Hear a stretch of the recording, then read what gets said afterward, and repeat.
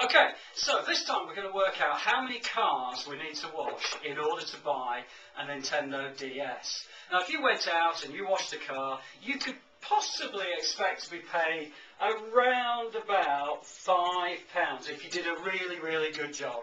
So it's five pounds for every car that you wash. Okay, and if you do a really, really good job, the owner might give you five pounds for that. And what we're going to do is we're going to use that money and we're going to go out and buy a Nintendo DS. Okay, which I think are really good. Maybe I'll get some sponsorship. Nintendo DS, brilliant. Okay, so what we did is we scoured the internet, we used our top agents, and we found out that a Nintendo DS will cost 155 pounds.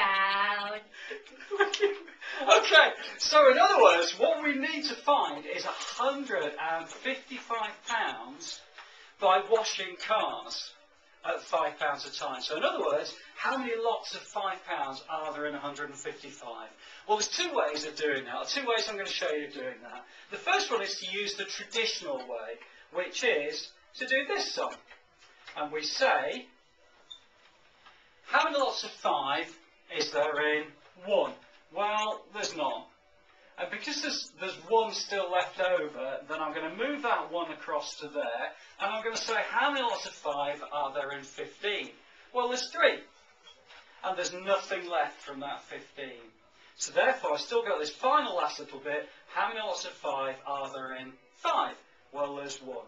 So the answer to this question is 31 lots of 5 pounds. Okay?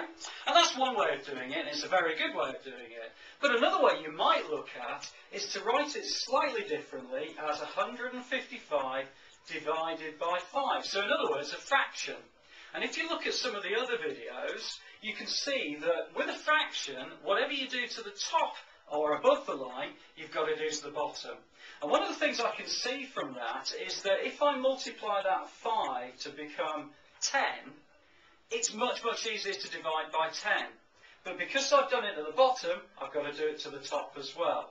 So my question now becomes 155 times 2, which is 310, divided by 5 times 2, which is 10.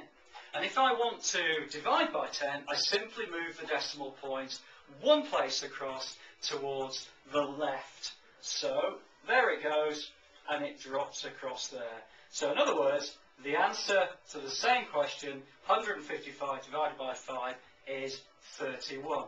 So I would have to wash 31 cars, which is a lot of cars. So I think you better get going.